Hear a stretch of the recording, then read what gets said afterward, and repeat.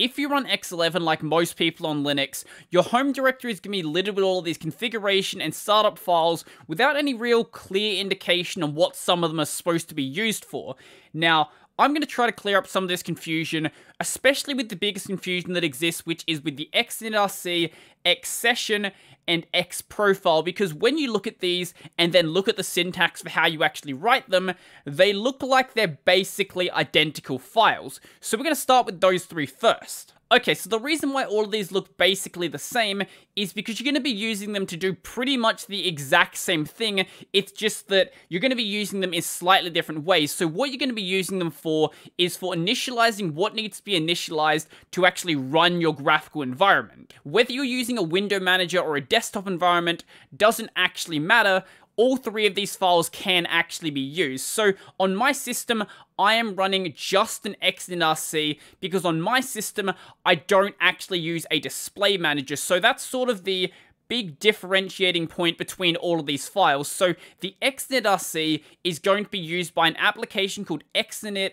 or StartX, and that is how I actually start up my X server directly from the TTY without actually needing to have a pretty login screen. So let's actually have a look at that file. It looks a little something like this. So I'm starting up all of these applications here. Technically, these don't actually need to be here because all of these can run without my graphical environment actually running and I could use them from the TTY. The reason why I start them here though is because I never actually run my system from the TTY, so it just makes more sense to me to just launch everything here instead.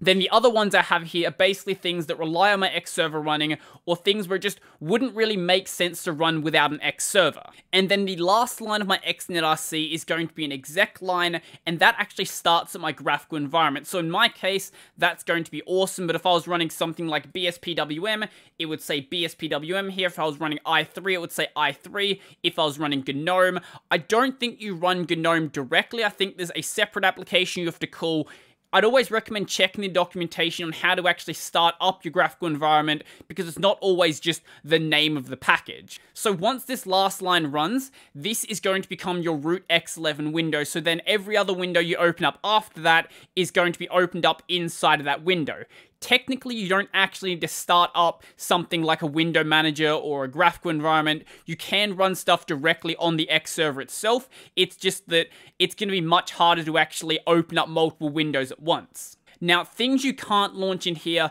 are things that are dependent on this last application actually running. So, for example, if I had something like BSPWM running in here and I had a script that relies on BSPWM. I couldn't actually run that in here because I could only run it before the application actually starts. Now, because you are going to run this with StartX, you technically don't need it in your home directory because StartX can actually take a file argument. It's just that the file in your home directory is going to be the default location to actually check. So in my case, what I'm doing is I'm running this command right here, so StartX, and then passing in the new location of the file. If you ever want an example of how your XinitRC should be structured, you can always go to slash etc slash x11 slash xinit slash xinitrc. Obviously, this assumes that you have xinit actually installed, and this shows you how it should actually be structured. Now, in my case, I'm not actually doing the same sort of checks that are being done in here, mainly because I'm lazy and sort of wrote this before I knew about this, but I'd recommend actually using this template if you have no idea what you're doing. Now, what about X Xsession? So, Xsession is a little bit of a weird one, so the way you write it is literally line by line identical to the XinitRC, but the X session is going to be used by a display manager, but typically you're not actually going to use it with most modern display managers. So what they were actually used for is prior to display managers having an easy way to actually determine what graphical environment you actually have installed, they would look for your X session files, and then judging by the X session files, those would be the graphical environments you could actually log into. So if you wanted to say launch up specific applications for GNOME and for BSPWM and for whatever other graphical environments you have, that is what you would use an X session for. But nowadays, selecting the graphical environment is typically done automatically, so the X session files see much less usage. In some cases, though, you can set sort of like a custom graphical environment to launch, and in that case, it's going to use an X session file. Now, the last one we have is the X profile. Now, I've never actually used an X profile on my system because X profiles are basically exclusively used by a display manager, which I still think is a horrible name. A display manager is basically the login screen you see at the start of your system if you actually use one. So the one difference between the XinitRC and the X profile is the X profile doesn't have that last exec line where we actually start up our graphical environment because the graphical environment is going to be started up by the display manager itself. So the rest of the X profile, starting up various applications, initializing files, things like this, all will still be done in the file, but starting up the graphical environment isn't going to be done by that. Now, this isn't always a hard and fast rule. So things like, say, LightDM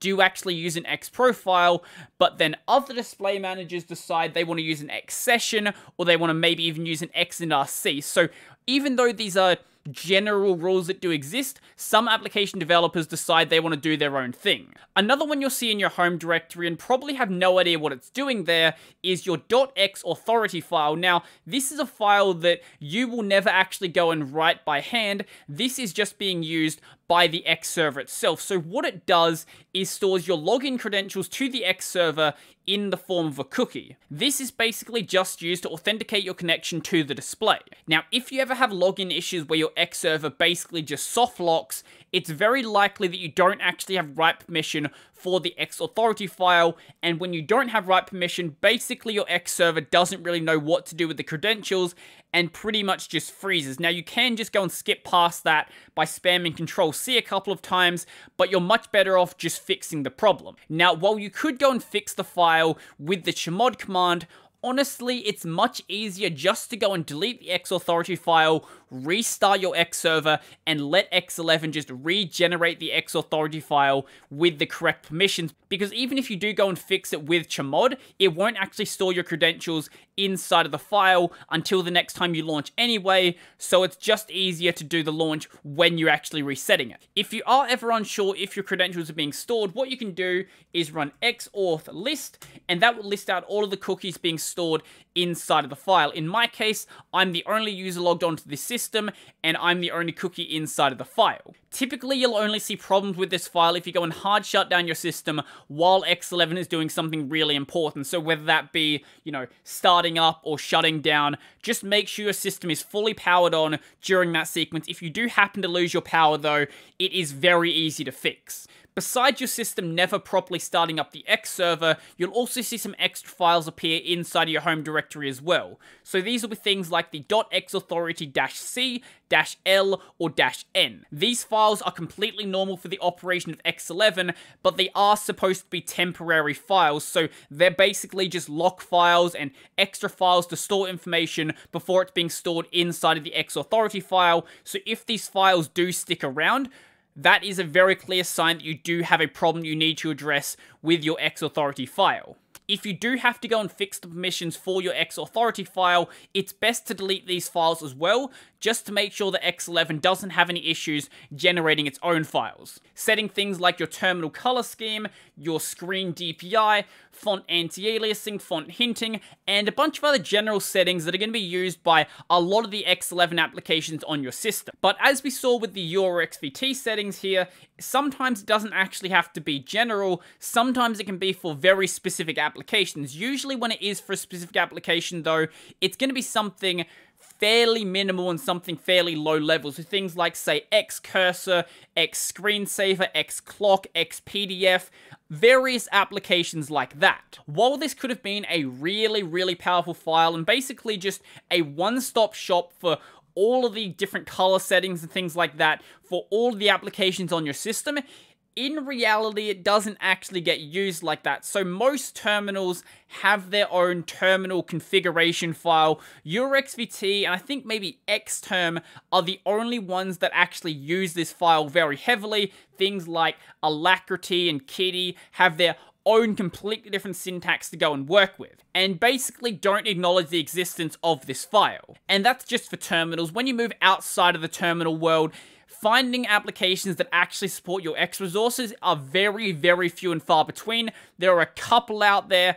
but don't expect it to be very common. One of the really nice things about the X resources file for terminals that do actually support it is this is how you use things like say Pywal and have the color scheme just change very easily like that. Basically all Pywal does is just modifies the contents of this file. One of the lines you may have spotted in my XinitRC file was actually sourcing this file. So if we go back over to that one, and down to this one, if we run xrdb-load, then we can actually pass in the X resources file we want to use. So in my case, it's located in my config directory, but normally it'll be located inside of your home. There is one more file I want to mention, and even though this one isn't going to be used by everyone, I still think it's worth the mention, and that is the xmodmap file. This one doesn't actually have to be called xmodmap, it's sort of just convention because the application that uses it is also called xmodmap. You would go and generate the file by running this command right here, so xmodmap-pke, this generates a full list of all of the key bindings for your keyboard,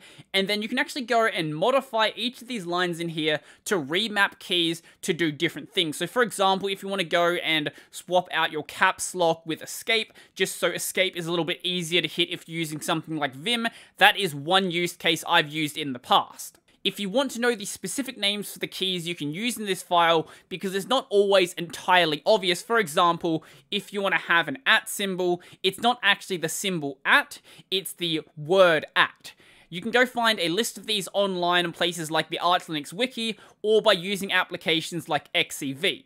I've done a full dedicated video just on Xmodmap, and there's way too much about it to cover today, so I'd recommend going and checking out that video. But for now, if you want to use the file, all you need to do is go run the Xmodmap program and then pass in the path to the file. One thing to note about Xmodmap though is it will be overridden by more modern ways of rebinding keys, so things like say set xkb map or the system built into things like, say, GNOME. There are countless other X-related files on your system, but these are the ones you'll typically see just in your home directory. If you're going to those ones in, say, your etc directory, I would presume you actually know what the file is supposed to do. But if you're new to Linux and you just suddenly saw all of these new files in your home directory, I could understand why you would be a bit confused about them. As always, I'm going to shill my channel, so if you are enjoying the content and you're not subscribed yet, doing so would be really, really helpful. So I think that's going to be basically everything for me, but before I go, I would like to thank my supporters. So a special thank you to